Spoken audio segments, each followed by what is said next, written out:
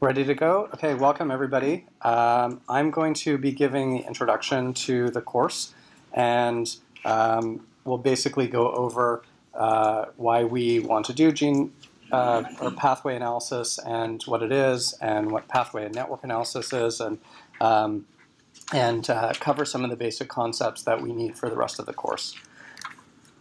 Uh, please interrupt me if you have any questions. So the basic idea for this course is that uh, we um, are, are, trying to interpret large gene lists that frequently come from genomics information, uh, genomics experiments, or, and when I say genomics, I basically mean any kind of omics, uh, any kind of experiment that generates a lot of information about molecules in the cell, whether it's uh, transcripts or uh, proteins or metabolites even, um, although generally we're focused on gene-related lists. Uh, a lot of the concepts will apply to anything that has a large amount of information. So the basic idea of this course is that done some large uh, uh, genomics experiment like RNA-seq, and now you've produced, or, or a big genetic screen, you've produced a bunch of information. Now what do I do? How do I interpret the information that I have?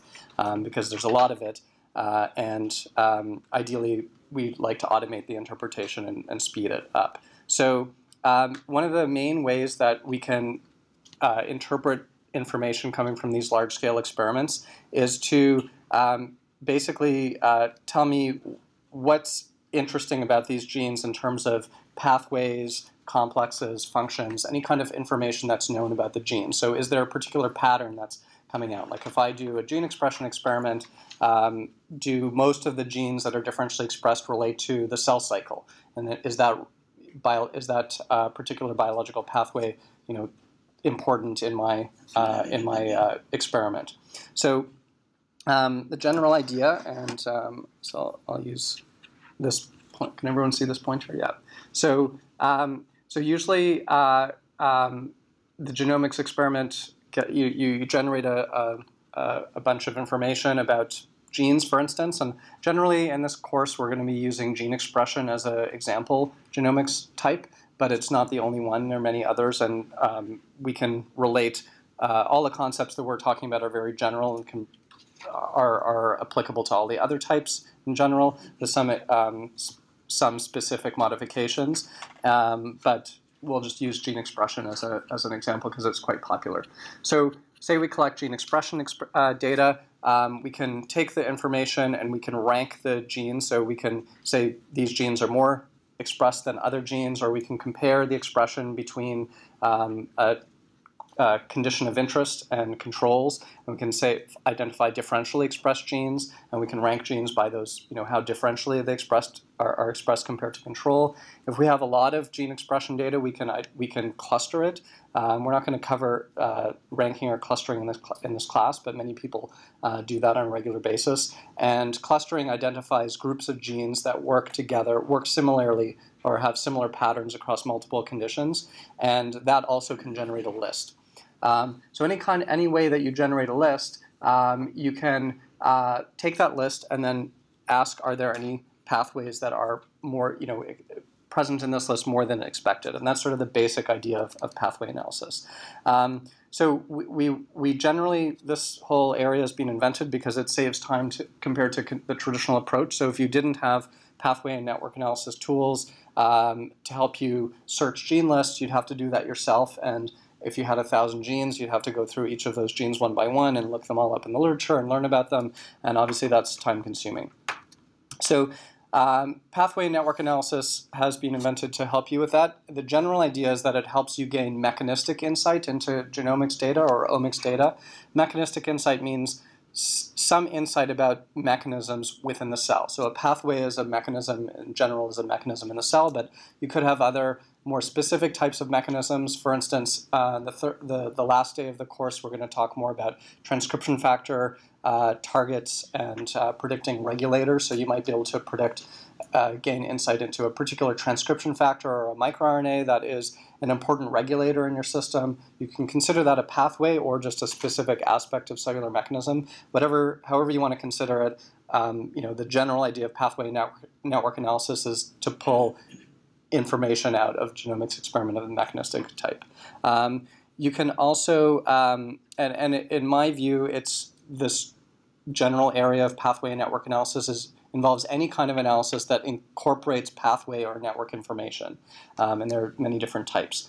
Um, it's uh, most commonly applied to interpret gene lists, and the most popular type is pathway enrichment analysis, but many others are useful. So we'll be talking about pathway enrichment analysis. Um, I'll give you a short introduction this morning, and then uh, later Quaid is going to talk about um, uh, the uh, enrichment analysis in more detail, going over all the statistics. So just to start, I'm going to give you two examples from our own research. These are examples that are kind of the best examples from our own personal research of where pathway network analysis really helped us understand a genomic system much better than if we didn't have it.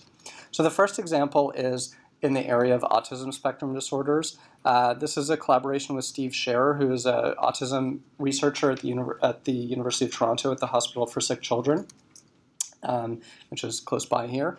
Um, so in this uh, project, he's, in general, he's interested in, in studying the um, heritability or inheritance of autism spectrum disorders, ideally identifying genes that potentially cause autism uh, and uh, or relate to it or, or help identify pathways that are important in, in autism. So this, uh, this disorder is highly heritable. Uh, people know from twin studies that um, you know, it's at least 50% heritable. Um, and uh, although the severity is different, could be different um, between uh, siblings that inherit the, the uh, disorder. Um, there are uh, certain genes are rare genes are known to cause severe types of autism spectrum disorder, and for many years, uh, or in in recent um, history in this in this field, people have found that copy number variants, and in particular de novo copy number variants, so those are ones that are, aren't inherited, um, cause uh, um, explain some aspect of the heritability. And uh, genome-wide association studies that look at SNPs have really not identified much. So what this project entailed was uh, studying copy number variants in autism spectrum disorder, and they had collected uh, about a thousand cases, a thousand controls, and had identified copy number variants using a SNP array. So um, this SNP array identifies uh, the um, sort of uh, amount of each SNP in a, in a, in a genome across it. Um, so you, you have a million SNPs on this array, and each SNP gets measured of how, you know, whether it's one uh, version of the SNP or, or another, um, and uh, also its relative intensity. And you can use that to identify a region of low intensity, which means a deletion, a segment of the genome is deleted, or a region of high intensity, which means a segment of the genome is gained um, in, by some process. And a standard analysis of looking at this uh, study gene by gene or copy number by copy number identified a few um, uh, genes or copy numbers that are that are associated with the cases, the autism spectrum disorder cases. Uh, and so we looked at, and this was work done by Daniele Merico, who is in my lab and now works elsewhere in Toronto. Um, we looked at uh, the same data using pathway information, and we found, um, you know, in, in contrast to just a few genes, we found a rich set of pathways that were uh, affected, that seemed to be affected in this in this uh, disorder. And so the, we'll, we'll learn how to make these maps in this class, but this is an enrichment map. Uh, the circles um, indicate pathways. Um, the size of the circles indicate the number of genes in the pathway, and the, the connections between the circles um, indicate uh, uh, pathway crosstalk. So if two pathways have a lot of genes, they, they share a lot of genes, they'll get a, a strong link. Um, and so pathways that are related get grouped, and you can see, for instance, um, if we zoom in here, one of the set of pathways, these these red circles, is highly, and so I should have also mentioned that the color of the of the circles or or the nodes is proportional to the uh, strength of association with the cases. So the more red it is, the stronger associated it is. So if we zoom in here to one of the um, places with uh, very red nodes, it's uh, pathways that are involved in central nervous system development, and that makes sense given the biology of the disease that affects um, it affects the brain.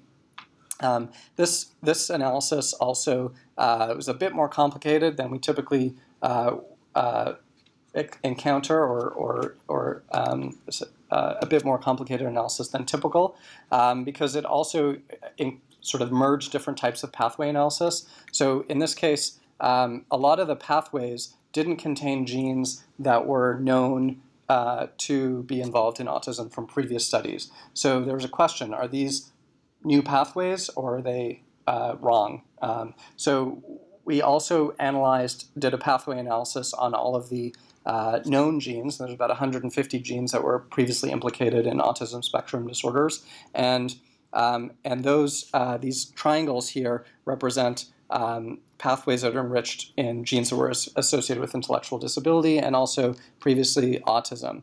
And there were a lot of uh, um, you know some of the pathways didn't overlap, but even in this uh, in this zoom in here in the central nervous system development section, you can see that um, a lot of pathways that are enriched in known autism spectrum disorder genes are also central nervous system development, and they, they share a lot of genes. So even though the same pathways didn't come up, uh, sorry, the, the same genes were not identified uh, uh, frequently in the copy number variant data versus the previous previous type of data, the pathways that they um, that they were part of were very similar. And so that helped validate the pathway analysis. One interesting thing about this study is that the uh, when you looked at in each individual pathway, it wasn't the same gene mutated each time uh, in, in many cases. And, um, and you kind of know that because, um, kind of expect that because we didn't see any gene, we didn't see very many genes strongly associated with cases. So instead, it was multiple genes within the pathway mutated in different people, in different individuals. So, um, so that illustrates sort of a, a, strength of pathway analysis. You can take uh, rare information, like or, or sparse information. In this case, you have genes that are infrequently mutated, but when you look at them in terms of a pathway, the pathway is frequently mutated. So uh, we might have 20 genes in the pathway, and there's 20 different individuals that have mutations, and each one has a mutation in a different gene.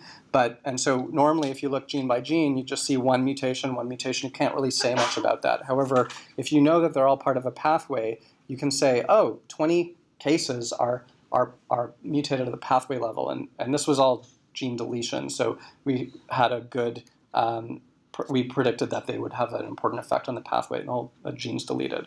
So, um, so that illustrates how pathway information can help improve statistical power. So uh, we've basically grouped all of those single counts together into a bigger count. The other way that it helps improve statistical power, which we'll talk about later, is it improves multiple testing correction. Um, uh, um, uh, so basically, you there are we expect that there are fewer pathways than genes, uh, or fewer pathways than SNPs for sure, for certain, or mutations. And so, working with fewer statistical tests uh, limits the uh, um, uh, um, it increases the power because we uh, reduce the number of tests, and we don't have such a strong. Um, uh, um, I can't think of the right word really blank on, on the right word, but uh, we, we um, uh, don't have to make such a stringent filter given the number of tests or brought for tests. Okay, so the second um, uh, example that I'm going to talk to you about is uh, uh, the best example that we've worked with where we've really understood something, something quite interesting from pathway analysis. So this is a collaboration with Michael Taylor, who's a neurosurgeon, again at the Hospital for Sick Children. Uh, one of the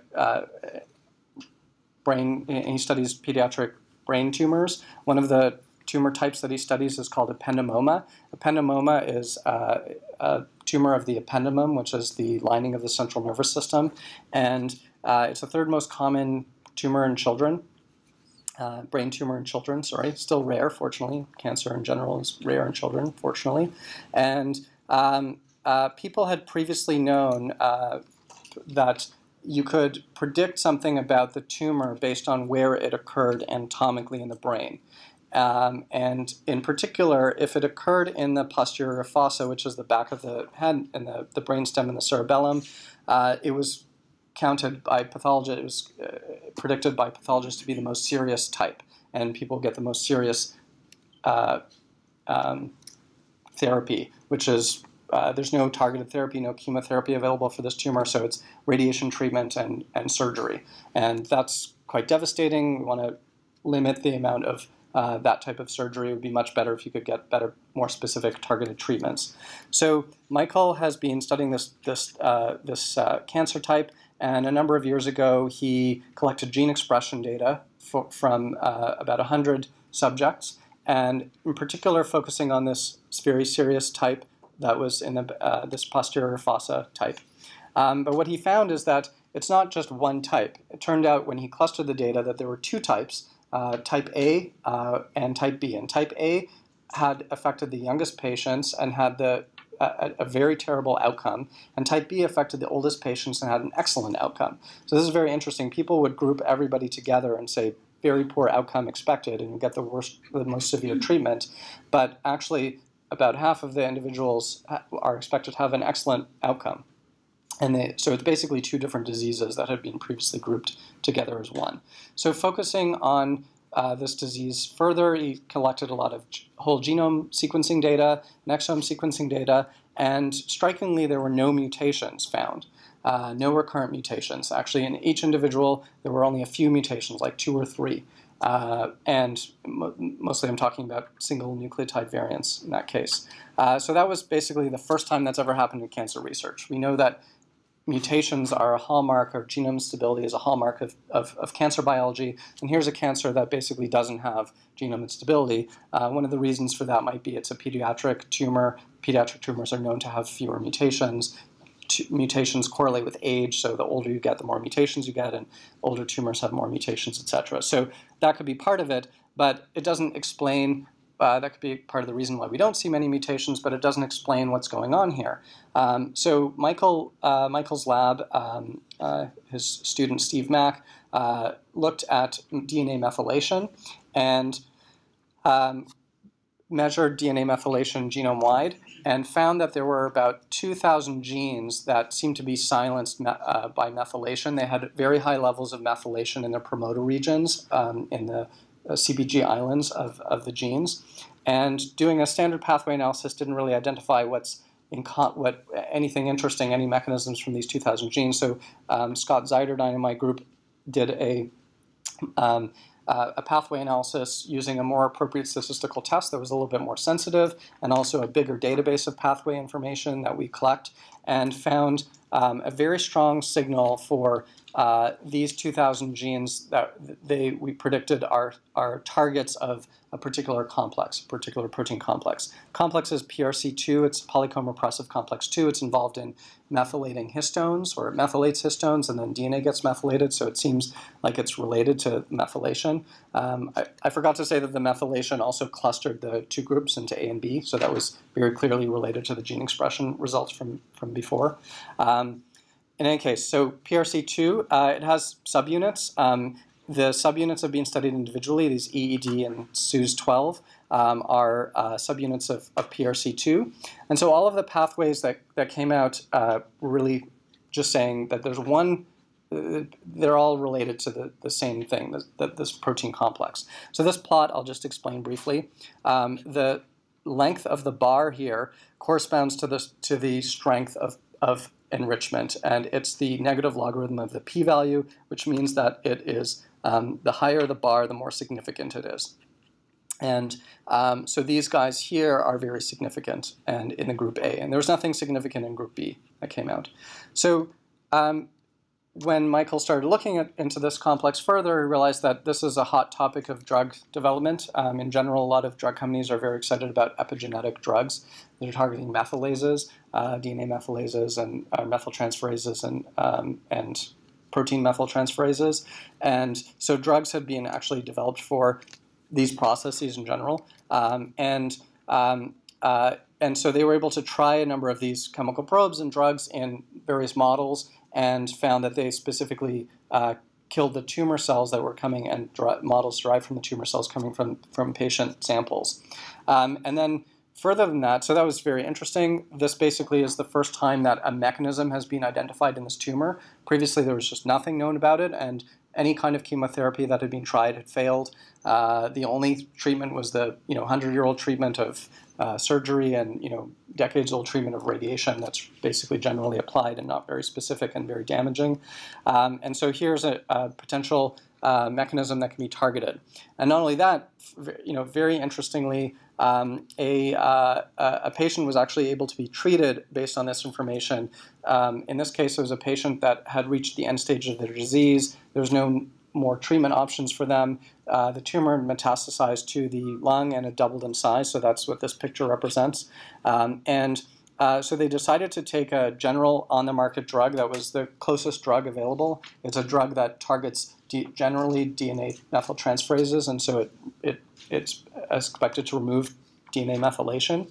Um, and one course of this treatment stopped the growth of the tumor, and the child regained their, their energy, and that lasted actually for 15 months, which was quite amazing because there were basically no more treatment options for this for this child. So, um, so now this uh, this result has led to a development of a clinical trial, which is or a couple of clinical trials which are recruiting patients. So the take-home message here is that um, you know this this this is a really good example of where we were able to take a bunch of different genomics data. So we had information from our, from uh, uh, the transcript level, uh, DNA mutation level, and methylation level, and within um, a short amount of time of collecting the DNA methylation data, like a year or, or, or, or so, um, we had a mechanism identified.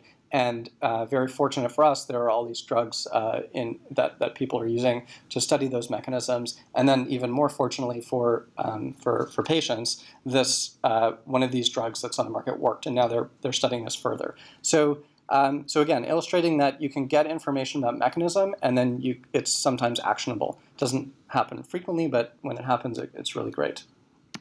Okay, so the, in general, the benefits of pathway analysis um, versus analyzing individual genes, transcripts, proteins, SNPs, mutations, uh, other things um, that you could analyze that come from genomics or omics data. Um, it's easier to interpret because it generally works with familiar concepts uh, like pathway names, which if people learn in, in undergraduate biology, um, it uh, can identify mechanisms that potentially are causal, uh, predicts new roles for genes. Um, it, I mentioned that it can be used to improve statistical power, and it's often more reproducible than looking at, uh, for instance, people who've studied biomarkers and have identified signatures based on gene expression data have found that if they look at the, and this, the earliest results uh, from this came in the field of breast cancer analysis. So people collected uh, gene expression from different breast cancer cohorts, and they found that the signatures that they that they learned from each cohort were non-overlapping. There were no genes in common. However, if they looked at the pathway level, a lot of those genes were part of the similar pathways. So from that, in that, um, that illustrates how um, you know mapping things to the pathway level can sometimes be more reproducible. Uh, and it also facilitates integration of multiple data types because it provides a skeleton that you can layer on different types of information, and that's something that we'll learn about later as well. Okay, so I talked about, any, any questions? I talked about pathway and network analysis. Often I use the term pathway analysis. I just think it's easier. Um, uh, some people, there's different terms, terminology used, but pathways are is a concept. Pathway is a concept that biologists know about, and um, you know I don't know if anybody could really specifically define it other than just say it's a process. But um, I consider any kind of mechanistic information to be pathways. But there are different types uh, of ways of representing pathway information, um, and uh, two main types are sort of the typical pathway. Uh, way of representing data is to have like a stepwise process, and this is what most people learn in, a, in uh, starting in high school biology. If you study glycolysis, there are these you know enzymes and these steps, and um, you know this trend, you know conversion goes to that conversion, and so that pathway pathways typically have this sort of stepwise process. There's also a lot of information that we get from large scale studies that is not easy to represent in the stepwise process manner. Um, uh, so for instance, people have been spending a lot of time collecting protein interactions or mapping protein interactions at a large scale, and uh, we don't know exactly you know, the steps that are involved in pathways there, so we just represent it as a network of connections.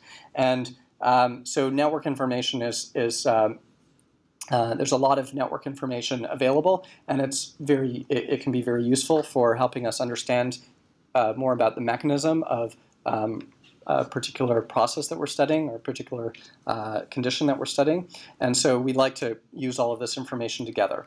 Um, but just so you know, uh, when we use these terms, this is sort of what we really mean. Okay, so there are many types of pathway analysis, as I mentioned. Um, the sort of standard one that almost everybody uses is pathway enrichment analysis. And usually that means we have a set of uh, we take a pathway and we just take the genes in the pathway. We forget about how it's how the, those genes are connected. So we just represent the we just take a list of the genes. These are the list of genes in, involved in the cell cycle or in glycolysis, and um, and we see if that list is overrepresented or you know present in our in our own gene list more than we expect compared to um, how many genes are annotated to that process in the genome. So um, and I'll, I'll, go over this a few times, but you know the example is um, I have 100 genes on my list. 50, 50 of them, so 50% of them are cell cycle genes. Um, so that means half of my gene list is cell cycle. When I look in the genome, it might only be 5%. So there's 10 times more cell cycle genes on my list than I expect. Um, so obviously that's that's more enriched. That's the, that's statistically enriched. Um, so that's the general idea of enrichment analysis. There's also uh, ways of um, uh, trying to one one of the uh, benefits of that analysis is very easy to do. Uh, that's why it's the most popular one. Uh, one of the disadvantages is that it only uses information that we know about. So it uh, we, we, you know, we take the genes from a known pathway, like glycolysis. Um, but many genes are not known to be part of pathways. We don't know what their function is. They may be part of big networks that people have collected. And so uh, the second part tries to use this network information and to find regions of the network that are highly connected and uh, also per, you know, uh, uh, differential or change somehow in the condition of interest. So if we're studying gene expression data, we can find a region in the network that's differentially expressed. Or if we're studying mutations, we can find a region of the network that's highly mutated. Um, and that might in, that might identify a part of the network with genes that we don't know much about. So it's less biased, but on the other hand, then you have to figure out what those modules, what those uh, those genes do. At least you know that they're they may be working together somehow. Um, and then there's a, a, sort of more detailed modeling that um, involves uh, sort of a more detailed uh, representation of the data. So we might have um, uh, anything from uh, understanding the relationship of the mutation to the uh, gene expression to the protein expression to post protein post-translational modifications, and we incorporate all of that data, and we, we, we understand that there's a, you know, a, a mutation. We try to say, does this mutation, for instance, explain the expression, the expression change? Um, and so that's using additional information like exactly how the DNA and, and um, you know, mutations in the DNA is related to expression. Um, and um, these can be used ideally to, um, so um, I, I, actually just went through this. So this is, this is from a, a review that we do with cancer, so these are cancer related. But um, you know, the, this third type is useful if you have a specific mutation you want to under like in a specific individual that you're studying or um, uh, uh, sort of how it relates to the processes that you see that are altered. Um, and uh, this we're not, so let me say that the today we're going to focus mostly on this first one.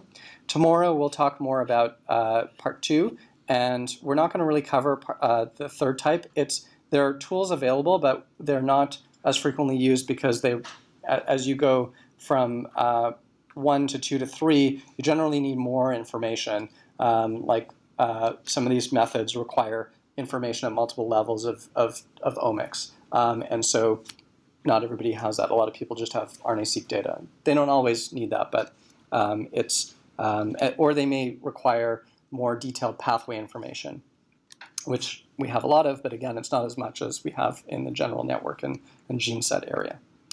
Okay, so um, any questions? Okay, so this is the overview of the pathway analysis workflow that um, we're going to cover mostly uh, today and tomorrow. Um, and um, the third day is mostly focusing on transcription factor analysis or regulator analysis. So uh, the general idea is that you've collected some kind of uh, genomics data, like gene expression data. Uh, you, we don't cover in this course exactly how you you uh, collect that data, but if you have questions about anything related to that we're talking about, you can always ask. Um, and uh, once you have that information, you need to normalize it and score it somehow. Uh, so for instance, with gene expression data, often people compare condition to control and compute differential expression. And depending on the platform and exactly how you're doing things, there might be different ways of doing that. Um, and then that usually generates a gene list. So the gene list could be uh, the list of all of the genes that are differentially expressed, or it might be genes that are um, coming from a cluster, as I mentioned before, if you're clustering. So after you have the gene list, that's where we really want to focus on this course. We want to learn about the underlying cellular me mechanism using pathway network analysis. And there are sort of three main steps. Um, so one is to run a type typical pathway analysis uh, that are um, that we'll talk about, and that helps you visualize and identify interesting pathways and networks. So, what does interesting mean? It de depends what you're interested in, and so unfortunately, that part can't be automated. So, at least um, unless you invent a machine that does your homework for you, um, but uh, the uh, what, so what a lot of these tools try and do is use signatures of things that we think are interesting, like this. And you know, if the pathway is enriched in the uh, in the gene set, then it's probably relevant for the condition that I'm studying. And whether that's interesting to you might depend on whether it's novel or uh, or known, right? If it's oh, you, it might be very enriched, and you say, oh, I, everybody knows that. Let's skip that one. But then the next one might might be something interesting and new. Um, so these tools help you visual identify sort of a list of potentially interesting uh, pathways, and then um, we also have ways of visualizing the results. And also, there's an aspect of exploration. You want to explore the results to try and figure out this difference between novel and new, uh, novel and uh, known. Um, so this, you know, to really identify things that are interesting. And once you've found something of interest, then you can drill down to better understand it. Uh, you might overlay your gene expression data on a, so you might identify a pathway that looks interesting, and then you can overlay, and it just, you know, then you just know that this pathway is potentially interesting. You could overlay your gene expression data on a picture of that, a diagram of that pathway, and you might see more details like, you know, the, reg, the you know, positive regulation part of the pathway is, is up, and the negative regulation is down or something. So that might give you a, little bit more insight. There might be genes that you don't know anything about, and so we can use uh, gene function prediction to identify potential functions, and we'll talk about that tomorrow with GeneMANIA, the GeneMANIA lab. Um, and then ideally, once you have a model, then you can, you know, that goes into a, a, a reporter paper. Okay, so so here's that's the overview. Here's a, a, more detailed version of things that tries to cover a lot of different uh, uh, a lot of different cases. So um, I'll just go from the from the top here. Um, so uh, basically just to, to tell you that the, the blue boxes are all relating to different types of data, and you can see how many different types of omics data there are. The sort of orange boxes represent different ways of scoring and normalizing uh, depending on the data type, and then they all point go to a central box that says that produces a gene list. And once you have a gene list, then you, you identify interesting pathways or identifying interesting networks, network modules, and um, there's different ways, different approaches to this, and we've added, uh, I've added sort of little yellow boxes that talk about different uh, tools, different software tools, most of which we'll, we'll cover in this course, but in this workshop, not all of them, um, that relate to each area. And then at the end, this, these ones relate to mechanistic drill down that I mentioned. Okay, so I'll go through this in more detail. So um, gene lists are not all the same. Uh, they come from different different types of experiments. Uh, we talk a lot about gene expression in this course, but you can also be doing a protein interaction screen, and the gene list might be a set of proteins that are binding to my protein of interest. Or if you do a, a, a ChIP, a chromatin IP, uh, you might find regions of DNA that bind to the DNA binding protein of, of interest. And um, or you know you do a similar ChIP analysis for micro, for RNA um, molecular interactions. Uh, you could be doing a genetic screen uh, or an association study in a cohort of, of, of, individuals to identify mutations that are correlated with a phenotype. Um, and each of these things has a different meaning. So um, we might be we might be expecting that our gene list identifies parts of the biological system, uh, aspects of the biological system like pathways or complexes. Um, but it also could be a screen that identifies tissue location or cell type. Um, or, you know, for, for some of the genetic screens, we might be identifying regions of the genome, and, um, and that doesn't tell us specific, you know, we, we basically will include all the genes in the region, even though we know not all of them are maybe uh, providing signal.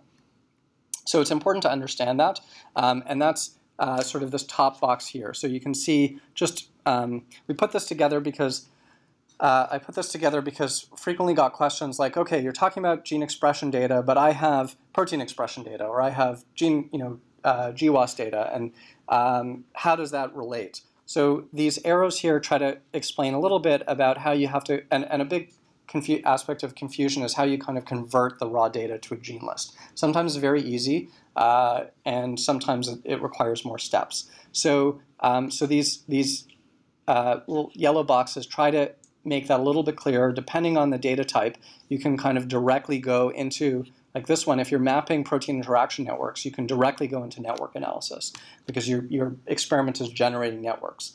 Um, however, if you are sequencing uh, genomes, you have to identify and filter variants, and then you have to identify significant, significant or recurring variants or score them somehow. And so there's two steps before you can get to a gene list. Um, and, and you have to link those variants to genes, which is sometimes challenging, especially if you're working with non-coding variants. Um, so the, the key point here, uh, which again, we're not going to cover the details of, but you're welcome to ask questions about it, is that we assume that you are using standard techniques for normalization, background adjustment, quality control, and using statistics that will increase signal and, and reduce noise. Uh, frequently, these are very standard, and increasingly, they are handled by core facilities. Um, it used to be, you know, when when gene expre- when omics started out, a lot of people were measuring gene expression using um, their own hand-built microarrays that they, you know, cDNA microarrays that they built themselves in their lab. Um, and there were tons of issues with that, and you had to basically build the whole system and figure out how to analyze it. These days, usually you take your sample to a core facility. They um, they run they uh, uh, they collect the genomics data of, of interest uh, for the main types like RNA-seq or whole genome sequencing, and then uh, frequently they have the capability to process the data using standard pipelines. And I highly recommend that you take advantage of that. Usually, the people at the core facility are working on keeping their pipelines are on maintaining their pipelines and um, they identify new software when it comes out and evaluate it and integrate it. They also I know about problems with their machines, so there might be batch effects that happen um, where they got uh, a batch from the supplier of particular reagent and that batch was acting differently than others. So you won't be able to figure that out if you're doing that yourself and you just did it one time. But if they're doing it 100 times, they can see that there's some shift and they might be able to correct for that. So generally, as, as long as the core facility is able to do all of these things, I, I, I recommend taking advantage of it. Sometimes they charge you extra, but I think it's worth it. Um, and uh, um, but it, it's definitely possible to do these things yourselves as well. Um, and a lot of the, the methods are standard, so you could see if someone's published, uh, if you take a recent publication that has done some kind of analysis and they describe their methods well, and we used various R packages and we did this workflow um, or various software tools, you can do that yourself. It is, it's, it's straightforward enough, but usually um, it takes more time um, unless you're going to do it a lot compared to a core facility. Um, okay, so so that's this this middle section here. And then you know the last section here is really where we're focusing on this course. It's about the biological question. So what do you want to accomplish with your list? So the simple version is we just want to discover pathways that are you know uh, uh, or other aspects of gene function that uh, we didn't know about before related to the condition that we're studying.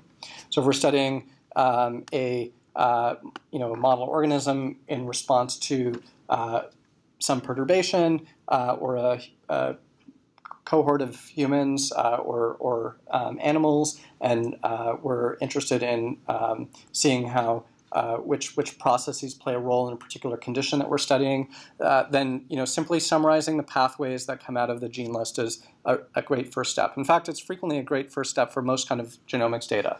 But there's a lot of other types of analysis that you can do. So differential analysis is also very common. So what pathways are different between samples? Um, you uh, can also, as I mentioned, find try to find a controller for a process like a transcription factor or a microRNA, and we'll talk about that again on day three. Um, you might be able to find new pathways and new pathway members. That's the network analysis uh, part that I mentioned. That's going to be a focus of tomorrow. And discover gene function, new gene function. We'll talk about how to predict gene function tomorrow as well. You could correlate the uh, pathways that you have with a phenotype um, that might help with candidate gene prioritization. So if you've identified a region of a genome, a, a, locus that is associated with a disease and it has 20 or 100 genes in it and you don't know which one is um, you know, relevant, uh, usually you have to go through them and figure out how they might be related to the phenotype. But if you've identified pathways that are enriched across your whole, your whole genetic experiment, you might identify um, you know, specific members of the pathways, and that will kind of help you prioritize. Um, and finally, you might be able to find a drug. Uh, we did that with the with the Ependymoma study, and um, there are lots of uh, there's there are databases of known drug drugs and their targets, um, and you can use those databases to you know try to identify, given a pathway that you see or genes that you see are interesting, you know, are there any known drugs that target those? And it's generally a simple lookup. Okay, and then um, okay, so I mentioned this uh, a few times already. Um, I repeat myself sometimes just to emphasize key points. Um, but and the uh, you know so today we're going to focus on pathway enrichment analysis, uh, some, the the summarize and compare part. Uh, tomorrow is more about network analysis, including gene function prediction, and day three is more about regulatory network analysis. Okay, so that's that's that's all this part here. This doesn't cover regulatory network analysis so much, but it's um, will be focused on in day three. Okay, um, so the next part uh, that I'll cover is uh, just a general, I'll, I'll, talk about pathway enrichment analysis to get us set up for the second presentation this morning, and uh, I'll cover basic concepts as well that we, some of you may know about, but we're going to cover them just to make sure that everybody knows about them. And hopefully you'll learn something new in any case, even if you have already worked with this, this type of data. So again, the pathway enrichment analysis idea is that you have a gene list from your experiment, and that's represented by this blue circle. Um, so this is a Venn diagram that represent usually is used to represent sets and overlapping sets. So we have um, a list of genes from my experiment and a list of genes from a pathway. In this case, say neurotransmitter signaling, and they overlap somehow. So there's some number of genes that are in both lists. Now, how do I know if the, uh, the this overlap is significant or it's just expected by chance? If I have really big lists, I'm definitely going to get some overlap by chance. Um, if the or, or even if one of the lists is really big, I'm going to you know the bigger these the bigger any or both of these circles are, the more you know the more genes they have, the more likely it is that I'll get overlap, right? So there are a number of statistical tests that measure this um, you know the sort of standard ones are Fisher's exact test uh, related to chi-square test, and Quaid is going to go over this in, in more detail. Um, and then, um, uh, but there, there are actually a, a, range of statistical tests for this type of analysis. Um, I should also, um, and so without going into too many details, I'll just mention this as a general idea. Um, okay, so the what we need to do this enrichment is we need a list of pathways so that's you know these circles. So we need this is looking at my gene overlapping, my gene list overlapping with one pathway. But if you have a thousand pathways, you do this a thousand times, and you need a database of pathways. So we need to get that information from somewhere, and it also um, it also requires that you know that you've used um, you've treated this list in a particular standard way. So in particular, you have to use gene names or gene identifiers that are you know other people use because you can't get overlap if you can't if you can't even match up what you're talking about. So if one person uses you know gene name A and another person uses a different name for that gene, you're not going to get a match, right? So you do you need to understand something about how people name genes and how people represent genes in databases. So that's what I'm going to cover uh, first. Um, so I, am basically going to cover these two blue boxes in the intro, and then after the break, we'll do you know actual learning about the concept of how you discover enriched pathways and the statistics behind it. Okay, so gene and protein identifiers. Uh, um, this is something that many people know, but you may not know all the, all the details. Um, an identifier is ideally a unique, stable name or number that helps keep track of database records. So you could imagine your your social insurance, you know, your driver's license number. Um, also, you know, uh, a typical gene identifier is an Entrez gene ID. So Entrez is uh, the gene database maintained by the US NCBI. The NCBI is the National Center for Biotechnology Information. That's part of the National Library of Medicine that runs PubMed, so everybody knows about that. Um, and they maintain lots of different databases. Um, so many that, you know, actually uh, it's probably over 100, and each one of those databases has an, their own identifier, their own type of identifier. So that means that there, there are lots of different um, types of identifiers for different for for for a gene. I mean, it's not only that genes are represented um, when we say genes, we often mean you know the DNA region, the RNA transcript that's expressed from that region, different versions of that RNA transcript that's expressed from that region, different versions of the gene that has different start sites, um, and all of all the proteins. You could imagine each protein is that's post-translationally modified somehow, that's cut up or chemically modified as a different molecule. So you could keep track of each one of those, and each one gets its own identifier. And so that creates a complicated array of potential identifiers for these things in different databases.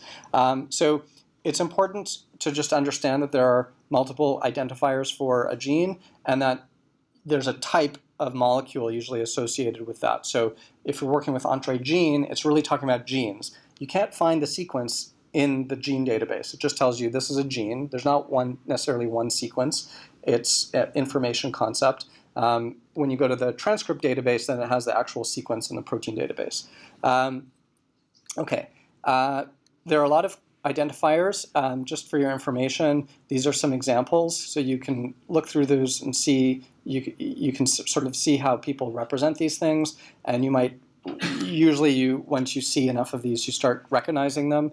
Um, but sometimes you can't really distinguish them. Like for instance some database a number of databases just use numbers and then you know integers like uh, or whole numbers. And those you know you, you won't be able to distinguish like if someone gives you a list of numbers and another list of numbers you won't know what database it's from necessarily however usually um, uh, the, the ones highlighted in red are ones that we kind of recommend. So Entrez Gene is a really good one because it's fairly stable uh, and unique, and it focuses on the gene. Um, and um, um, I'll talk I'll talk about reference uh, recommendations in a sec, but the, the ones that are highlighted in red kind of recommend thinking about. Um, okay, so there's a lot of identifiers, um, and it uh, it's, it's also important to recognize that some software tools only recognize certain types of identifiers as time goes on, this gets this gets better. It used to be really a big problem a long time ago, especially when people were working with Affymetrix arrays, because each version of the array came out with its own identifiers, and you had to map them, and it's very complicated. And now with RNA-seq, it's easier, um, and uh, but it, you sometimes see issues with um, identifiers that are linked to the genomics technology itself. Um, so, um, and th this goes over, you know, four main uses of identifiers. I won't really go through them. Um, I guess one important one is I, I, kind of explained why it's important already, but you can you can think about these.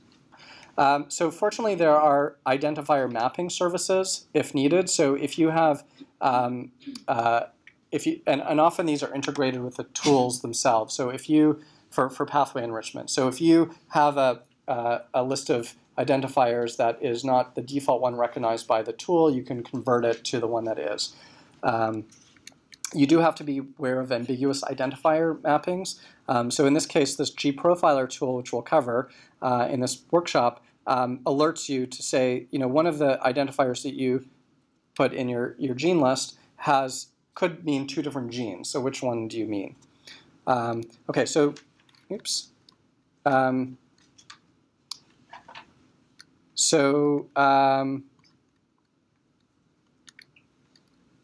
right. Okay. So the uh, um, so there are some challenges relating to this, uh, and just to emphasize the point, yes. Sorry. Um, you you recommend Ensembl identifiers, but uh, do you have? Um, is there any specific disadvantage to UCSC. Sorry, I didn't hear the last part of the question. So the UCSC identifiers, right? The, um, so against that, the Ensembl. Do you think it's better, and, and if, if so, what is the specific disadvantage? Like, why should not we use UCSC, for example? Um, I'm not saying here that you shouldn't use a particular identifier type. If it's convenient for you, that's good. It's just that these ones are ones that are most frequently rec rec recognized by pathway analysis tools. That's the main reason why they're recommended here. But it could, other identifiers. I've heard this before too, right? So for some reason people prefer Ensembl. Is it because there are no duplicates. And There are no duplicates. Um, the Ensembl keeps track of their identifiers care- very carefully, um, but uh, this is not meant to be comprehensive. It just it for for certain reasons, a lot of pathway analysis tools um, have r- used Ensembl identifiers, and the main actually the, the real reason is that Ensembl provides a really nice. Um, they, they could easily have been built on UCSC or in something else, but um, Ensembl provides a lot of uh, nice APIs that are like systems that allow people to build software on, and so people have taken advantage of those, and then they happen to use the the Ensembl. So as a user, probably if, if we consistently use Ensembl identifiers, then probably we'll have more access to software packages, or we'll be more compatible. Yeah, I mean, actually, Entrez Gene, I think, is the, the, the biggest one. That's why this is bolded here. And so I'll get into recommendations in a sec. Um, so uh, the um, yeah, so so there are some some challenges uh, to mapping identifiers. Um, so uh, one of the one of the main challenges is that you have uh, you know is, that I mentioned is that um, if you don't have if you make a mistake with identifier map matching, you could make a um, a few different types of mistakes when you're comparing your data to pathways. So one, you could just miss miss a gene. So if I have an uh, an identifier that's not present, that I'm using a different identifier that's not recognized, I won't match to the pathway. So that's obvious. Um, worse is if you match the wrong pathway, and that means that you're actually going to make a mistake. Uh, you might get the wrong information coming out, um, and so um, i in general, it's it, the gene name itself is like often the gene name that's used colloquially in the literature is often not a good identifier because it's not hasn't been standardized. The gene symbol, and I use the difference between symbol and name. Symbol is uh, usually um, is usually standardized by a community group. Like for human, the human genome, there's a human genome naming commission. For model organism, for model organisms, it's the model organism databases, and they usually say, okay, this is the symbol that we're all going to use if we're going to use the, the official symbol for the gene. Um, but even then, it's like when you have names, it's sometimes difficult. So um, one one case is that that people many people may be familiar with is that if you use Excel, which is very commonly used as a spreadsheet to manage gene lists, Excel uh, converts automatically converts certain gene names. It recognizes them as dates or other things. How many people have seen this? Yeah, so most of the most of the class are familiar with this. Um, you know, OCT4 is an important transcription factor, um, stem cell biology, and Excel will never will, will just convert it to October 4th. So, and and this is really really quite uh, um, insidious. So the um, and, and people have written papers about this. Uh, so in general, um, another challenge is that you might not reach 100% coverage. So you might have 100 genes in your list, and only 95 of them can be mapped. Um, sometimes there might be good reasons for that, like the gene in your list that comes from a genomics experiment and is based on an annotation uh, that you used at one particular moment in time. Um, the genome annotation changes over time, so you might have you might have a gene in your list that's no longer considered a gene. It's being moved to pseudogene status or something like that. And some it's like a good hundred genes in the human genome that every time we check, they're like flipping back and forth between gene and pseudogene, and sometimes they're just erased, uh, you know, completely when people realize that they're probably not really genes. So, um, so it's not it may, because of that. It, you may not really expect to be able to always have 100% coverage, and it get the, it gets worse if you're working with older data compared to current genome annotation. Um, so people have, uh, uh, um, uh, yeah, so just with the Excel thing, there's a couple of papers. There's a paper in 2004 that talked about how bad the problems are with Excel. They found that a lot of databases have started to internalize names like October 4th for Oct4 as a synonym because people kept on loading data that had October 4th is mapped to an Entrez gene ID.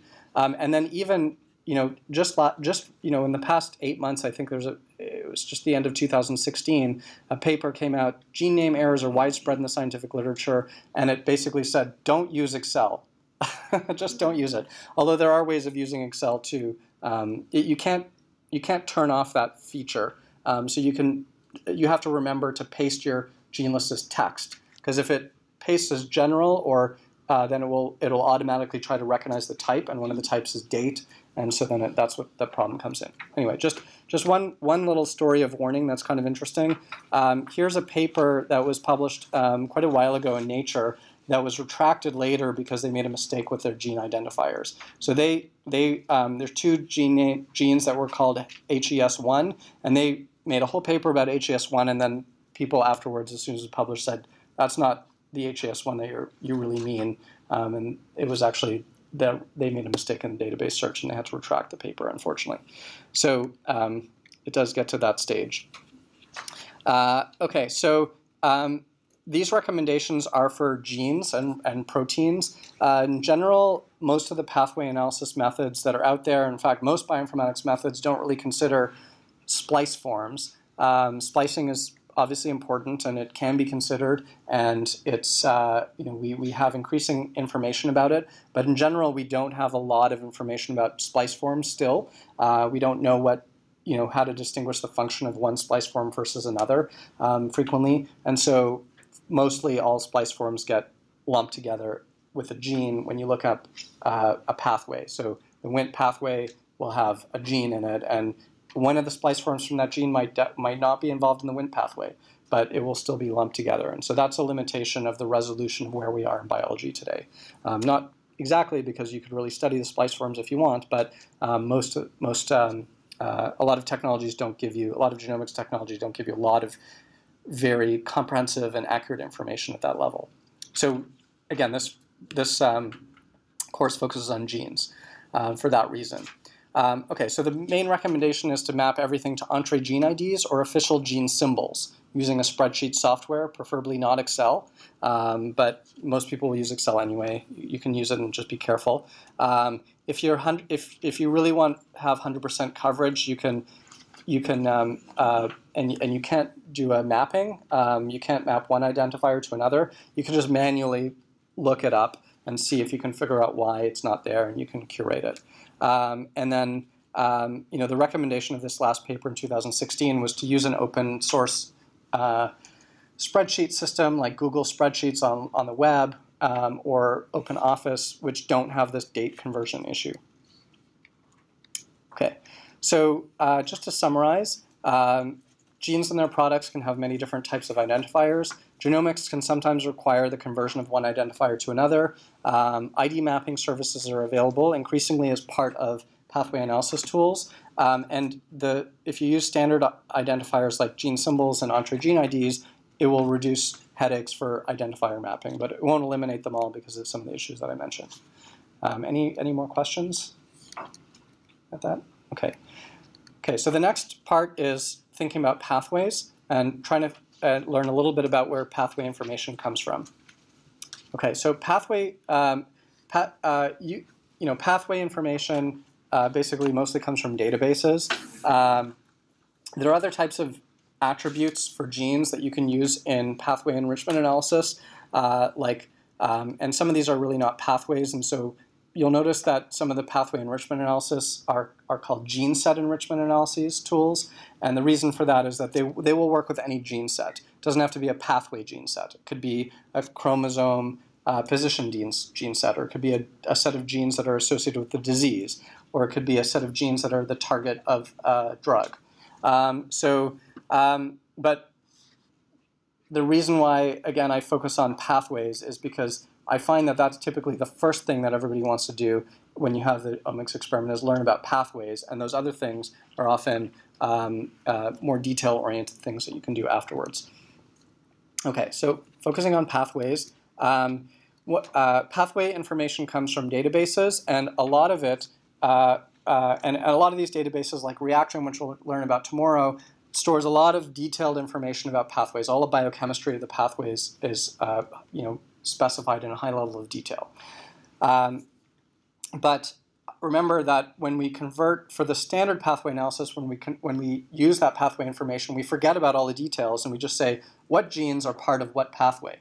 And there's a really good source of information that stores pathways at that level, and it's gene ontology. Um, how many people know about the gene ontology or have used it? Okay, so quite a few.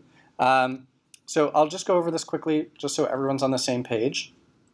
Gene ontology uh, sort of has two parts. One part is a set of biological phrases or terms uh, that describe gene function, and they're applied to genes. So you can have the word protein kinase. A gene could be a protein kinase. Apoptosis. The gene could be part of the apoptosis process. Uh, membrane. The gene can be part of a membrane or localized in a membrane. It also is a dictionary because it, each of these terms has a definition, so it's actually quite useful as a dictionary for biology. Um, and it's also an ontology. An, an, ontology is a formal system for describing knowledge. Um, you know, the first versions of this were like date back to ancient Greeks with Aristotle trying to categorize the world as like earth, air, wind, and fire. You know, that's like the first ontology. Um, so wasn't you know the the gene ontology is a lot more scientifically uh, oriented and a lot more detailed. So here's an example. Um, uh, the um, here's an example of an ontology. So all of these, each box here represents a term, and the terms are related to each other. Um, and in general, the the terms at the bottom of the at the top of the hierarchy are very general terms, and the ones at the bottom of the hierarchy are specific terms. So here's a term at the bottom, um, B cell apoptosis, and then it's a type of um, you know cell death. It's a type of homeostasis, um, and so you get different different branches up, and then right at the top, it's a type of biological process. So biological process is just so general. Everything underneath is a type of biological process. So within the terms, these within the hierarchy, these these lines indicate um, different types of relationships. Like apoptosis is part of um, you know this other process, or it's a type of this type of process. So um, it describes gene function in multiple levels of detail, and terms can have more than one parent. And usually, when a gene is annotated to one of these terms, it automatically means that all of the terms above it are also, you know, they're automatically annotated to that. So what that means is that gene ontology often um, often uh, creates a associates a lot of terms to a gene, and sometimes that causes issues because you have to figure out how to deal with all of these terms. Um, so this course will definitely teach you about how to one way of dealing with that. Um, okay, so gene ontology covers three major aspects of biology: where things are in the cell, the enzymatic function or you know chemical function of a of a of a, pro, of a gene, and the biological process, uh, which is basically pathways. So usually when we do pathway analysis, we focus on biological process.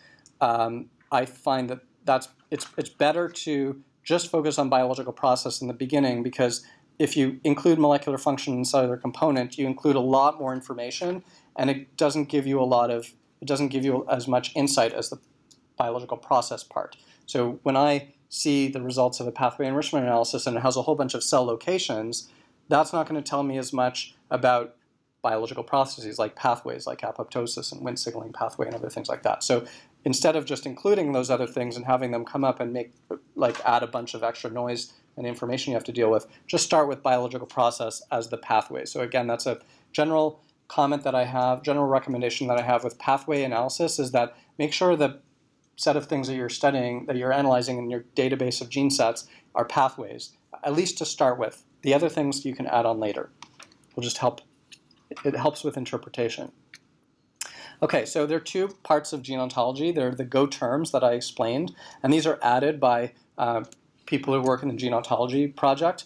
Um, you can request new terms. Uh, they add new terms over time. I noticed between last year and this year that they added very few terms, even though over time before that they were growing rapidly. So I think they're kind of reaching a uh, like a, a little bit more stable point because they have tens of thousands of terms. I have like 40, almost 45,000 terms in gene ontology, um, and um, uh, and which is a lot.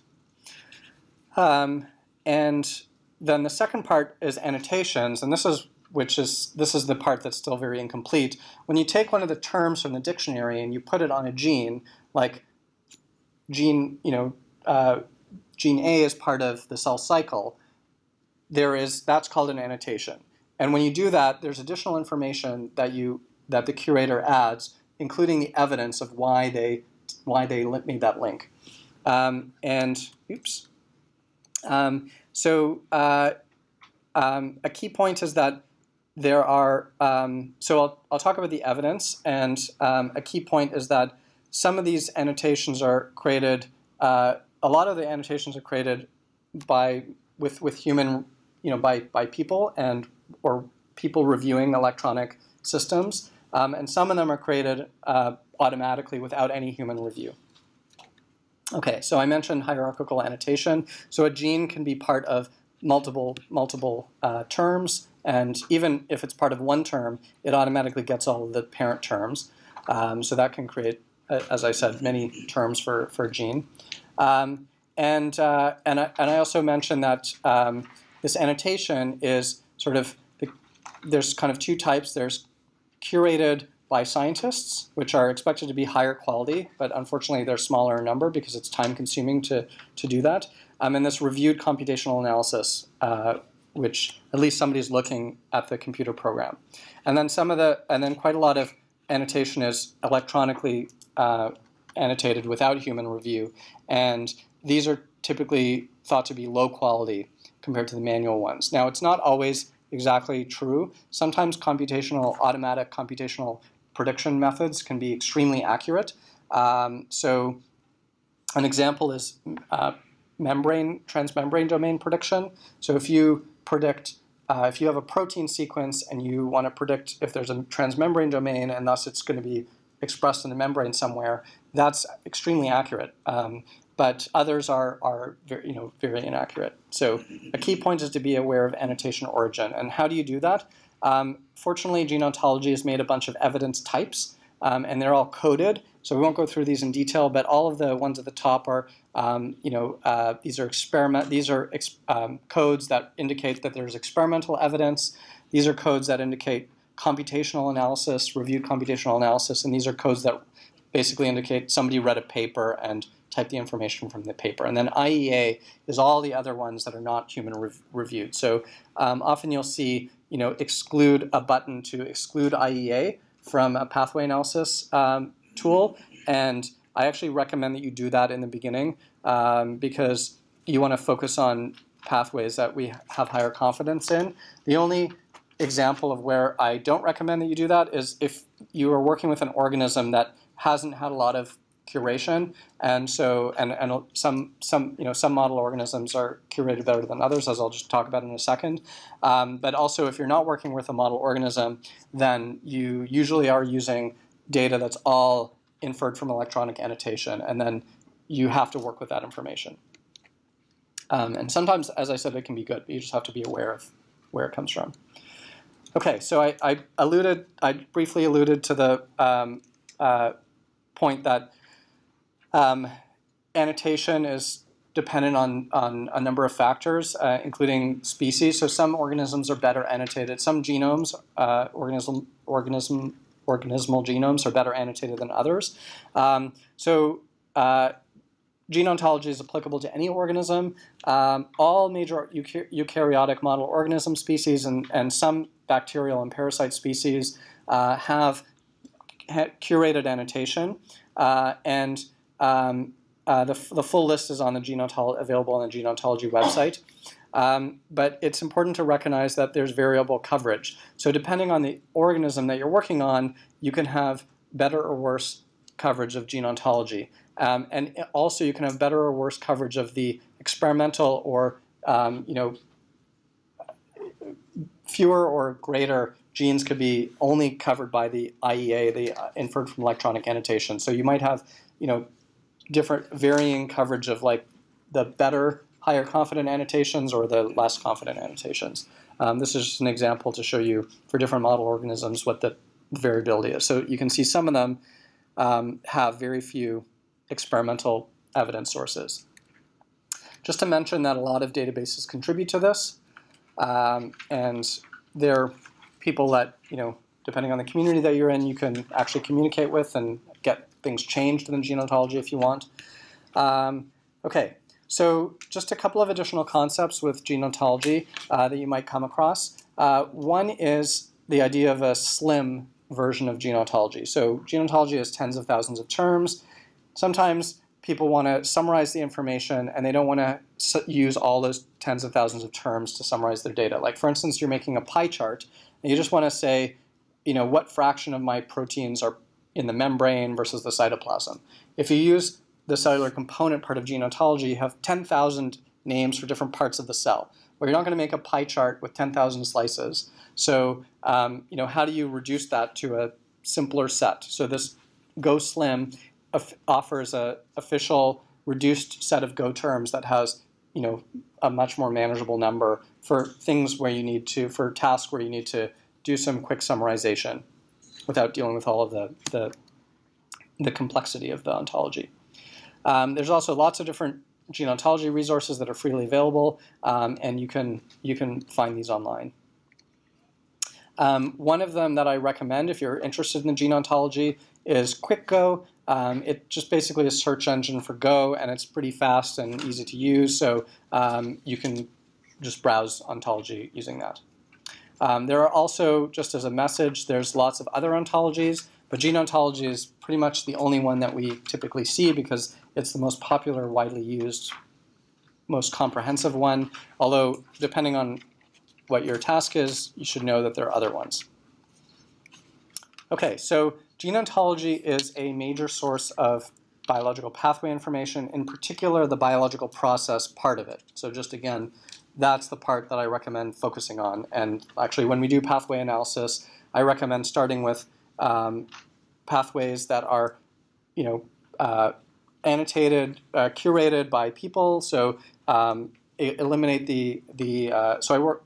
I, I recommend focusing on pathways, for instance, like biological process, and also the pathways that we'll talk about in these databases, and also removing the IEA uh, evidence codes from, from gene ontology. That's the, the lower quality annotation. Except, as I mentioned, if you just don't have any high quality annotation for those species that you're working with. Um, okay, so now on to pathway databases. So pathway databases are another source of pathway information. Um, there are actually hundreds of them. We put a, a website together that just lists a bunch. Um, it's called pathguide.org. Um, there's also pathway. Uh, there's also um, some pathway analysis tools, like the very popular GSEA or Gene Set Enrichment Analysis tool, maintains their own database of pathways. It's called MSigDB, which originally is stood, you know, was focused on collecting signatures, so it's called Molecular Signature Database. But actually, increasingly, they're focusing on keeping track of pathways. And then Pathway Commons is a website that I'm involved in, in developing that tries to collect major databases together to be kind of be a one-stop shop. Um, so that's just of potential interest. There are also lots of other types of annotations, as I briefly mentioned, um, like you know disease association and drug targets and you know different protein properties, like whether a protein has a particular domain, like it's a protein kinase. Um, and these you can get from gene, uh, uh, gene genome browsers. Uh, like Ensembl um, or model organism databases. And if you're interested in these, you can ask about them during the lab uh, or during, during uh, lab sessions. Um, just to highlight one of them, um, how many people have heard of Ensembl? Ensembl is a reasonably popular genome browser. UCSC uh, is, is another popular one. So UCSC is the most popular one for, for human. Um, Ensembl uh, provides a lot of different organisms and also provides more services that uh, that you can kind of search, like this Biomart service. Um, so Biomart is a kind of like a shopping mall for gene annotation. So you can say, um, and I'll just cover this very briefly. You can, if you use it, it's I, I include this here because it's difficult to understand how to use it when you just go there. It's very non-intuitive to start. Once you start, and when, once you understand the basic thing, then it's very easy to use. Um, but the, the basic thing is that you have to select, um, you know, the type of information you're thinking about, like genes, and then you have to select the genome, and you have to kind of wait, and then it updates, and then it will say, okay, I recognize that you're talking about human. Um, now what you do is you um, you can uh, do two things after that. One, you filter the genome down in some way. Like you can say, I only want genes that are protein kinases, and you can give it a gene ontology term for that. Or I only want genes on chromosome 1. Or I only want uh, genes that are close to this other gene. Um, and so you create these filters.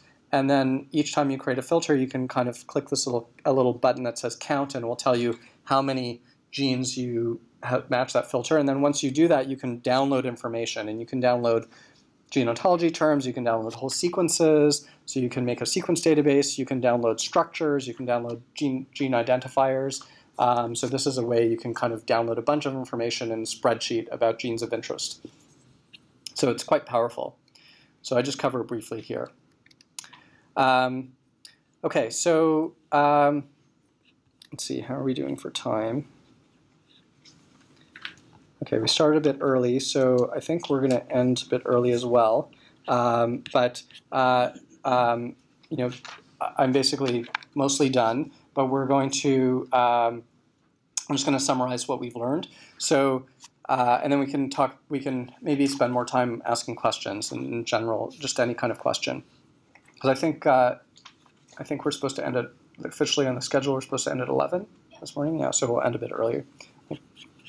20, 15, 20 minutes early. Um, okay, so um, so we've learned that pathway information uh, is available from many different sources, and uh, sometimes accessing all of these sources can be daunting. Uh, so we'll talk about during this course the kind of recommendations. Um, one of the things that we maintain in our lab is a um, like a gene set database that we use regularly, and we basically wrote a script to collect the information from many different databases and filter it in the way that we like. And but it's only available for human and mouse and maybe rat. Um, and not just because we happen to work on those organisms, but um, uh, at least we provide all the documentation, and you can sort of see what's there. And so later we'll talk about that, and that's sort of an easy, easy, to, easy place to go access GeneList data from for certain types of analysis. Um, otherwise, gene ontology biological process is usually the starting point for most people. Um, and uh, it varies widely depending on the organism that you're studying. Um, so human is the most well annotated for uh, pathway databases. Like databases like Reactome, which we'll hear about tomorrow, focus on collecting pathway information for human. And for some reason, most pathway databases historically have just really focused on human. Um, however, gene ontology historically came out of the model organism databases. So if you study yeast, for instance, gene ontology annotations for yeast are the best of any organism because the yeast database was one of the creators of the gene ontology, and they actually have collected, have, have gone through every paper that has ever been published for yeast and um, and they've they've annotated every gene against that, so it's completely comprehensive. A lot of the genes are still unknown, but they actually say we you know it's unknown when we verify that it's unknown because we couldn't find any papers about it, um, and they keep that up to date. Now that's easier for yeast because there are only tens of thousands of papers in yeast. For human, that's much more difficult because there are millions of papers for for, for human, and um, um uh, and so people there's a lot of literature, a lot of information that's still present in the literature only and won't be in the pathway databases. So I guess that's one interesting thing that we can discuss is that um, if you are doing pathway enrichment analysis and the information that you want is not there, you can actually change the pathway databases. You can create your own gene set um, whenever you want, and you can also add genes or, or remove genes from a gene set. And the the gene set databases are text files that you can edit in a text editor, and so they're actually fairly easy files to look at and edit. Um, the only issue with them is they could be big, so uh, that that could be a challenge to kind of work with them if you're not used to working with very big text files. But they are just a, a, the, the the point I'm trying to make is they are editable. You can create your own, and sometimes that ends up being very valuable. Certain analyses that we've done have de- depended on um, you know someone coming in and saying, well, gene ontology or any pathway database doesn't cover the biology of interest for me, so I'm going to make three gene sets that are like really important, and then I'm going to incorporate that into the database, and you know sometimes those come out as enriched as well. You can also do um, you know one gene set against your database. You don't have to against your gene list. You don't have to um, you don't have to do what we. So this whole course will focus on taking a gene list and searching a bunch of pathways, like thousands of them. Um, you could also just take one pathway uh, or gene set, which could be like a, a, gene signature or something, doesn't have to be a pathway, and compare it to your gene list. And that asks that asks a, a slightly different question, not which is you know does my gene list match some known gene list? Um, okay, so um, you know if you have questions uh, about specific databases that might be available for your area of interest, you can ask myself or Veronique or others uh, in the class uh, who are teaching the class, um, and we might be able to recommend some. But sometimes you'll find that uh, that there just aren't, and sometimes we work with people. Like I, I work with a researcher who studies um, um, like a uh, um, a stem cell model organism that I'm forgetting the Latin name of. Um, I always forget the Latin name of, but it's basically this little uh, flu- this little uh, flatworm that uh, regenerates. What's what's the planaria? Yes, sorry. Um, so he studies planaria, and um, and there are no gene ontology annotations for planaria. So basically, he he mapped them via orthology from another organism. Sometimes he he used mouse, um, even though mouse is far away from other organisms. Like you might think that there's C. elegans is a is a uh, a worm, and planaria is a you know kind of worm. So you might take the information from from from uh, from worm. However, he found that mouse had better gene ontology annotation, and a lot of the genes are conserved, especially in stem cell related processes that he was interested in. So, um, so he took that data from mouse, and the way he took that data is he mapped the information using orthology. So you can, um, it's a little bit more advanced. There's not an easy tool out there that uh, always that does this for you that I'm aware of. Um, so sometimes it requires some scripting, but uh, but it's relatively straightforward. You can download a data, you can download a list of orthology relationships from Ensembl is one place that makes those available, and probably the organism you're studying is present in Ensembl somehow, um, or you can find those somewhere else. And the worst comes to worst, you have to compute them yourself, uh, which is also possible, but then starting to get more advanced. Um, and then you can convert uh, the uh, genes basically from one organism to another via orthology. Has anyone done that? Um, one person? Okay, so um, yeah? Also, uh, Biomart has a tool to do that. Oh, they do have a tool to do that? I that? don't know how many species it covers, but uh, it's there for the major ones, I. Okay. You you uh, you type in genes and in in Biomart in the thing that I mentioned. Yeah, you put in all the gene IDs and then click like in uh, the organism that you're using, if you want to like human or something, you just click human. Oh, takes- when you when you ask for annotations, you can say, "Give me the human orthologs." Yeah, right. Okay.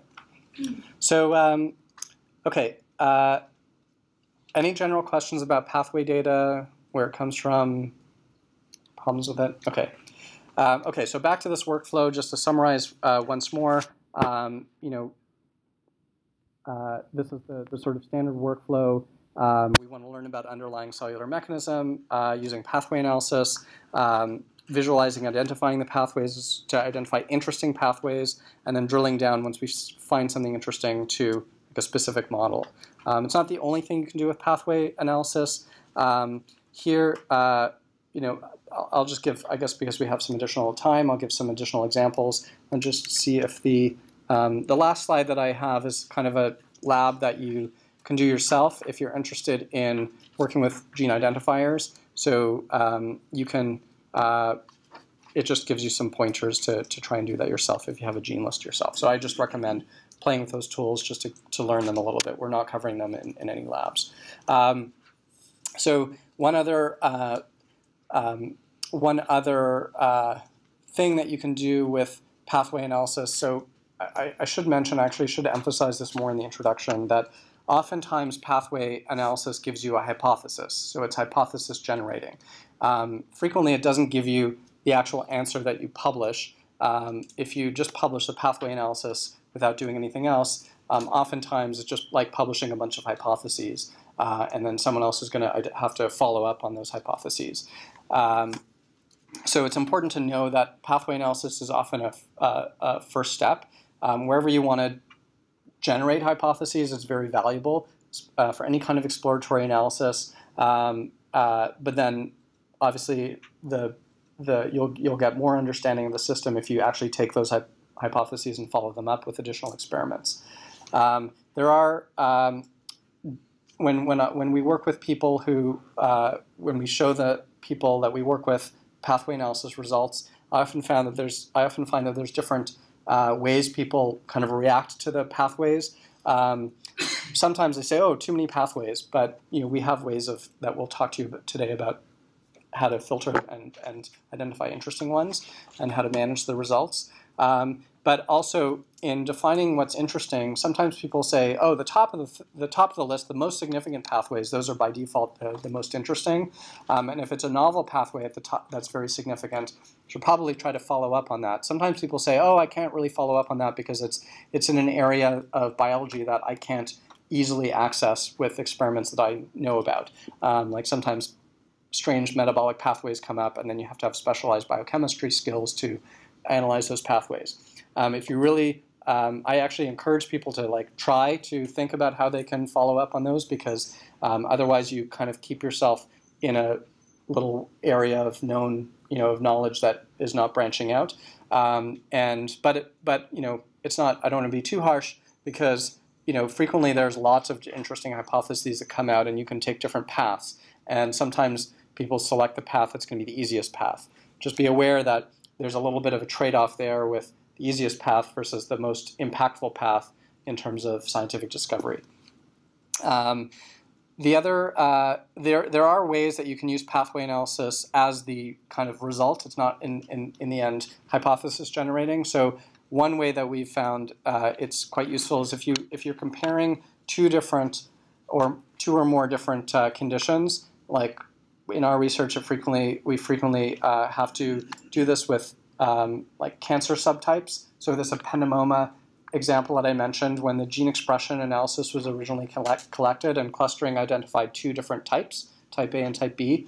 Um, you know, clearly the, they were differentially, they had a lot of genes that were differentially expressed between these two types.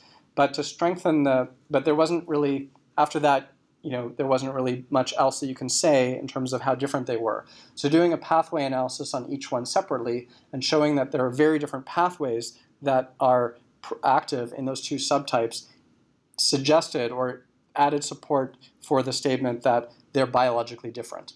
And so that in, in that way, we could actually take the pathway analysis results and publish it as a result. And, and it's, it, it, it is hypothesis generating because it generated a bunch of hypotheses for pathways to study, but at the same time, um, the actual pathway analysis was just publishable to support a statement in a paper.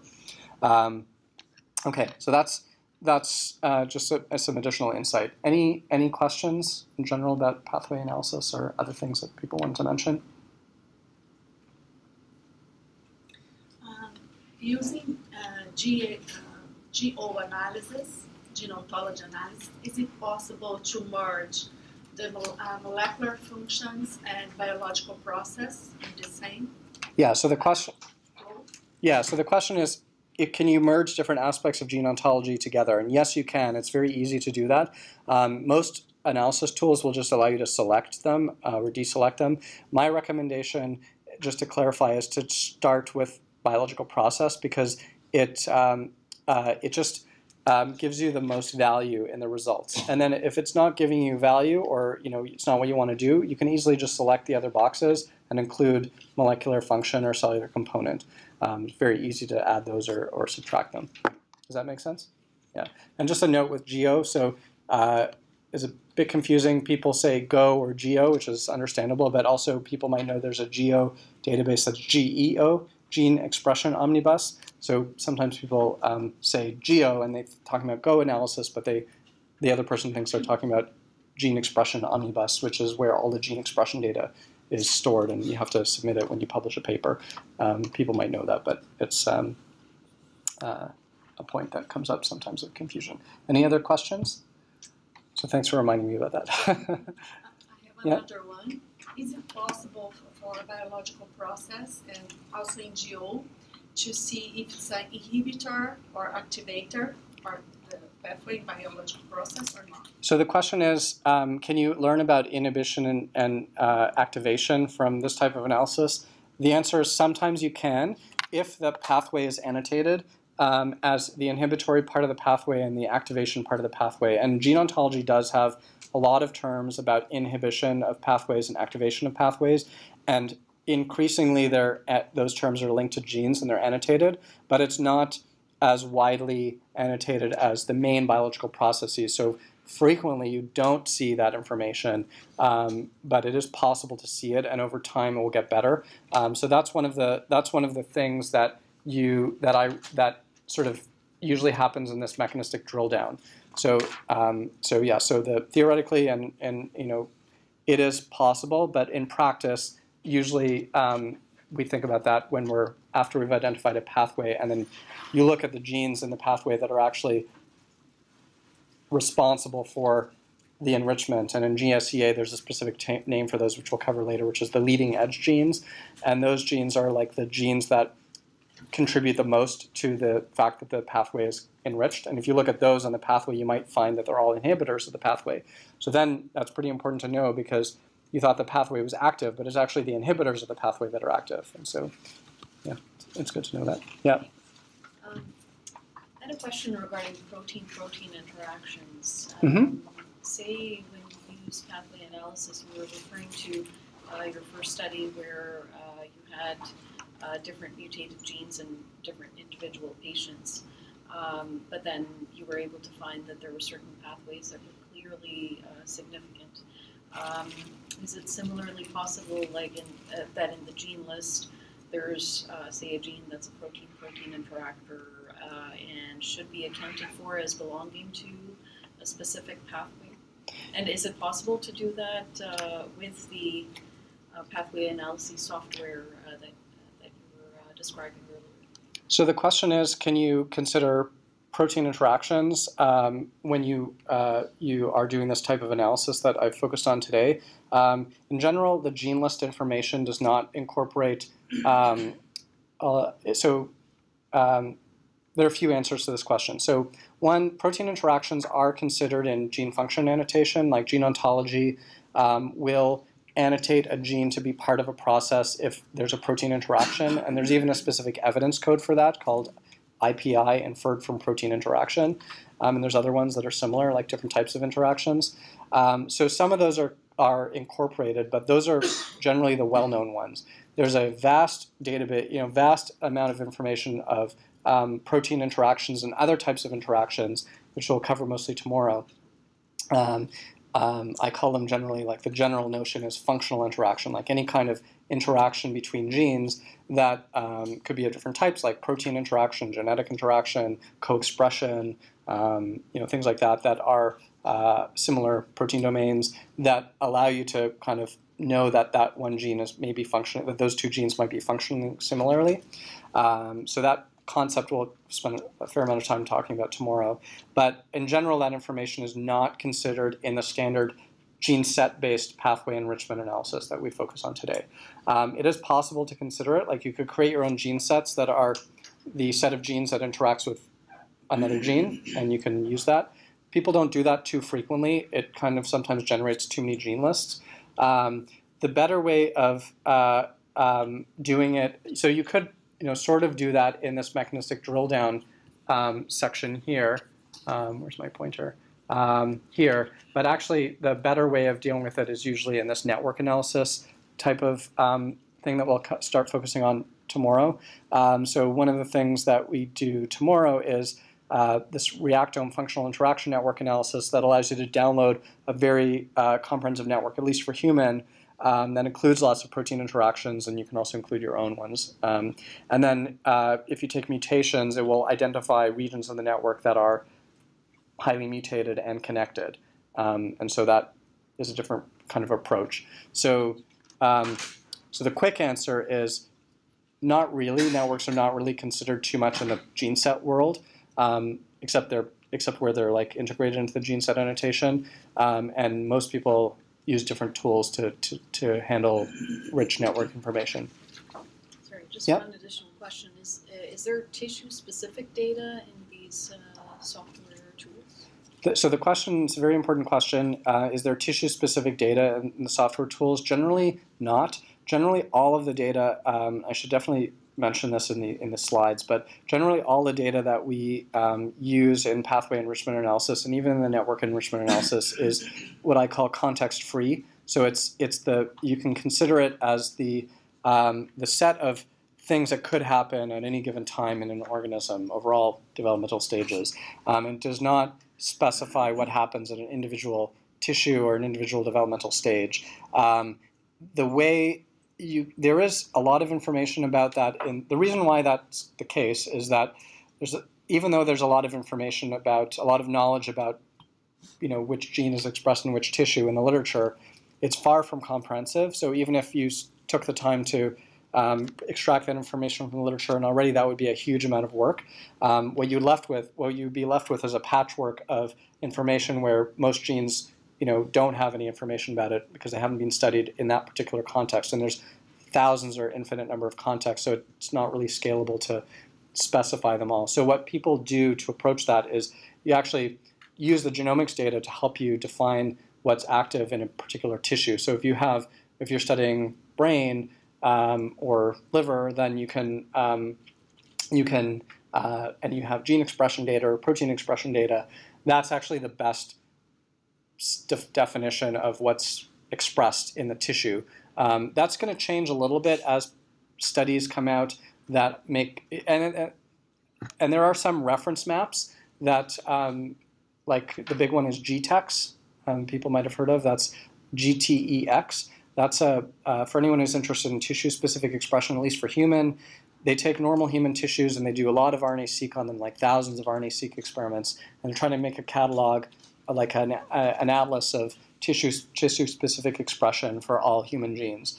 Um, and then now these days, there's a new project uh, called the Human Cell Atlas, which seeks to use single-cell RNA-seq to do the same thing to, to identify all uh, single cell, all cell types in the body at all developmental stages, um, and um, and get an RNA-seq profile for every cell type. And we don't know how many cell types there are. It could be tens of thousands or millions, or um, but there the technology now allows you to uh, single cell RNA-seq technology and other types of single cell um, omics technologies allow you to um, actually do that at the single cell level and get like a very detailed profile per tissue. Like, um, actually, and I'm talking. You know, people in Toronto are doing that for liver. Actually, interested. Um, so, um, actually, we don't cover single cell technologies here, but my lab happens to do a lot of work in that area. So you're welcome to ask questions about it. Uh, I just have a question about the methods to map uh, our gene list of interest onto um, gene ontology database or other pathway database. So, um, so what do you go for, like? Do you go from the best blast hit or the domain, um, the, the like SAP family integral domain, or there are other methods that uh, that are popularly used? Sorry, can you repeat the question because I didn't quite Yeah, understand my- the middle part. My, my question is just basically how do you how do we do the mapping uh, for our gene list onto gene ontology database Okay. or other Okay. Sorry, uh, so the question is how do you map gene ontology terms to your gene list? Uh, the answer is uh, it's it's it's it's actually um, I should have made this clear, but it's uh, it's the mapping's already done for you, and you just look it up in a database. So when you you don't actually have to do that step; it's all automated as part of these analysis tools. So when you so typically these analysis tools, and I actually should should give uh, mental note to myself. I should give an example of actually running through one of these pathway analysis, but we'll see, see it soon. Um, you you just give it your gene list, and it does everything for you. So the um, the gene ontology is map uh, mapping is done by the curators who make these association files, and then um, they consider information like protein domains and things like that, and then um, your gene is already there with its gene ontology annotations, and so it's a database. Does that make sense?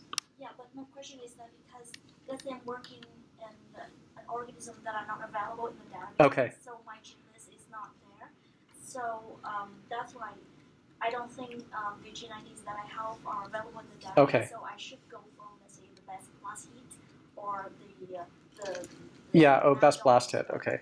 Yeah. Sorry. So, um, um, yeah. So if you don't, if you want to kind of map your own gene ontology terms, the best thing to do is vi- via orthology mapping. And what you said, I just that was the point that I didn't that I missed. Best blast hit is a good way of doing that, but there's actually better ways of defining orthology. And so um, it's good to use the advanced orthology methods. Um, blast hit is uh, can give you some issues because sometimes there's gene expansion and the functions of those genes are very different and BLAST will not filter that, but the orthology mapping tools, which have a couple of additional rules on top of BLAST searching, will help you result, uh, refine that and, for instance, give you like a one-to-one orthology versus a one-to-many orthology.